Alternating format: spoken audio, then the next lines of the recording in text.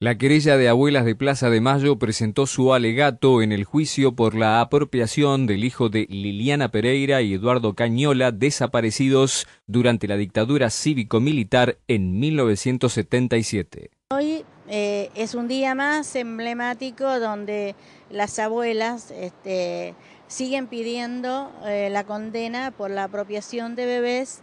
eh, de los bebés que nos robaron en el tiempo de la dictadura, que ahora son hombres y mujeres. Eh, bueno, este es el caso del nieto de la abuela Coqui. es, un, es un caso bastante complicado y triste como todos, pero bueno, estamos pidiendo la condena para los apropiadores porque realmente es lo que se merecen. Eh, nosotros hace 35 años que estamos luchando,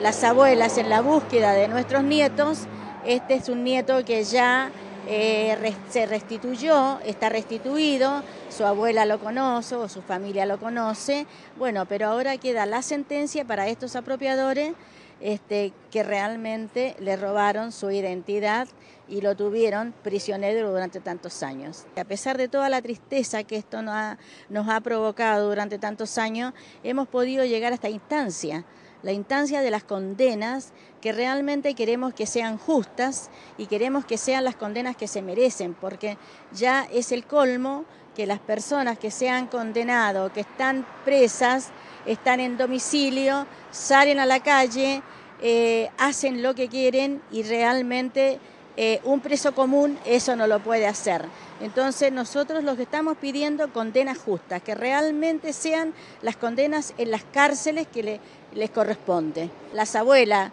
los familiares, las madres, a todos los que nos ha tocado vivir esta historia tan espantosa, tan terrible, estamos pidiendo justicia y la justicia está llegando. Ya está, hace rato que está llegando la justicia, desde que el presidente Kirchner la inició, ahora con la presidenta